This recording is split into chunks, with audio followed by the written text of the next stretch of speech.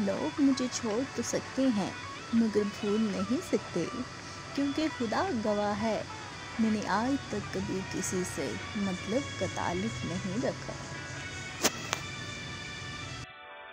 याद आते हैं वो बिछड़े ज़माने, जब तुम आए थे, हमको मना